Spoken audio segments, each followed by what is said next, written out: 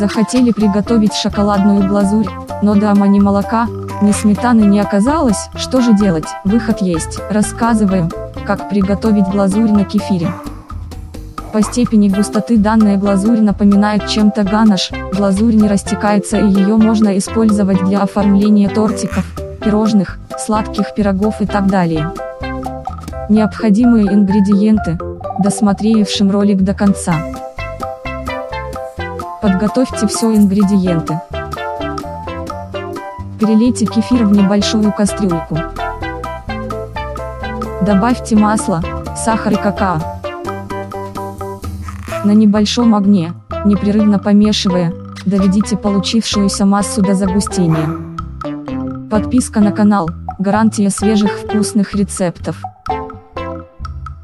Глазурь на кефире готова. Глазурь выходит достаточно густая, но консистенция во многом зависит от качества какао. В процессе варки, если вам кажется, что глазурь нужно загустить, то просто добавьте какао, если нужно сделать смесь пожиже, то просто разведите глазурь кефиром.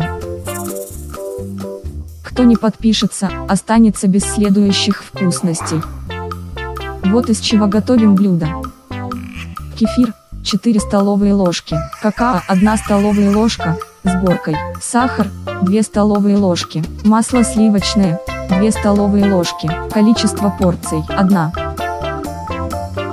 Не пропустите самые вкусные, подпишитесь, выразите свое мнение в комментариях. Удачи!